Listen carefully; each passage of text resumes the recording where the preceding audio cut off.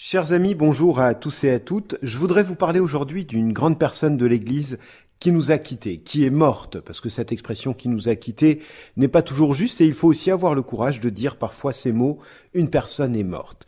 C'est le cardinal Etchegaray, vous le connaissez certainement tous et je ne vais pas ici refaire son panégérique. De toute façon, comme chaque chrétien, comme chaque homme, le cardinal Etchegaray n'était qu'un pécheur qui a essayé à travers toute sa vie de suivre Jésus-Christ. Et quand on l'écoutait parler, j'ai eu la chance de le rencontrer, notamment avec des confrères.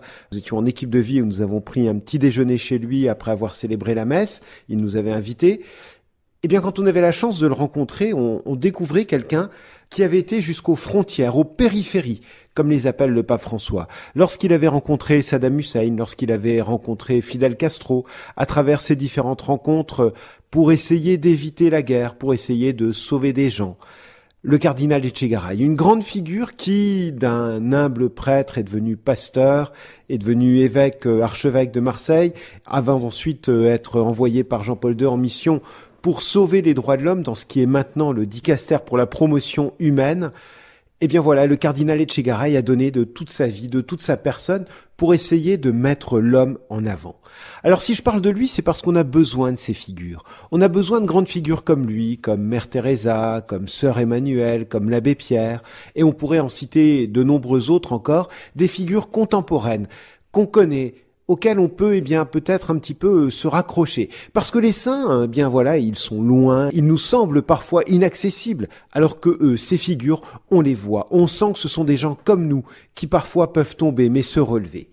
Oui, on a besoin de ces figures, de ces personnalités, parfois même des personnalités non chrétiennes. Et en parlant du cardinal Etchegaray, je pense à quelqu'un qui lui est certainement très proche à travers euh, la défense de la vie. Je pense au Mahatma Gandhi, à toutes ces personnalités qui, d'une certaine manière, essayent de faire passer l'homme au premier plan.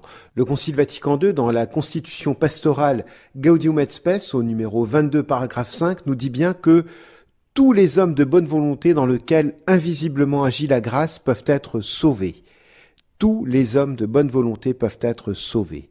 L'Esprit Saint offre à tous, dit-il, d'une façon que Dieu connaît, la possibilité d'être associé au mystère pascal. Eh bien voilà, toutes ces personnalités nous montrent d'une certaine manière le visage de Dieu. Parce que Dieu s'est fait homme. Et en même temps, Dieu a créé l'homme à son image, c'est-à-dire capable d'aimer, et le Christ qui est Dieu fait homme, nous a montré jusqu'où pouvait aller cet amour.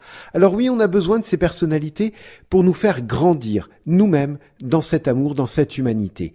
Et je dirais que quelque part, ces personnalités, elles viennent nous redire aussi que Dieu aujourd'hui nous parle par des signes, à travers des personnes, celles qu'on connaît, celles qu'on a pu voir peut-être, et puis aussi ces saints, ces grands saints, ces grands témoins de l'amour de Dieu. C'est le principe même de l'incarnation qui est ici remis en avant. Le Christ, c'est Dieu qui s'est fait homme. Et si je reprends l'analogie de Saint Irénée, Dieu qui s'est fait homme pour que l'homme puisse devenir Dieu, pour que l'homme puisse être debout, pour que l'homme puisse être glorifié, pour que l'homme puisse être fils de Dieu, pour que l'homme puisse être dans l'amour de Dieu. Alors oui, chers amis, demandons au Seigneur de nous donner encore de nombreux témoins. Demandons-lui peut-être d'être nous-mêmes ces témoins pour d'autres, qui prouvent à travers leur engagement, à travers euh, notre volonté d'aimer, qu'aujourd'hui, ce message de l'Église, il est viable, il est possible, il est crédible. Ça nous paraît parfois un peu fou. On est dans un monde où on a l'impression que chacun pense à lui, simplement à lui, qu'on n'arrive plus à aller plus loin, à essayer de dépasser cet amour. Eh bien, il y a ces témoins, ces personnalités qui viennent nous rappeler que si, malgré tout, aujourd'hui, grâce à Dieu, parce que c'est toujours lui qui est en dessous, qui nous tient, qui nous porte, c'est lui qui agit par nous, à travers nous, avec nous grâce à Dieu, aujourd'hui, on peut vivre de cet amour, de manière, j'allais dire, désintéressée, de manière pure, d'un amour qui n'est pas simplement pour nous une manière de nous mettre en avant, une manière de trouver nous-mêmes quelque chose qui puisse nous apporter un bien, mais d'être au service de nos frères gratuitement. Oui, le cardinal Etchegaray était l'un de ses témoins, eh bien espérons qu'il y en ait d'autres qui lui succèdent, espérons que chacun nous puissions, d'une certaine manière, être nous aussi cette lumière pour nos frères. C'est tout ce que je vous souhaite à tous et à toutes. Et en attendant, je vous souhaite une très bonne semaine. Et pourquoi pas essayer de vivre ça. À très bientôt.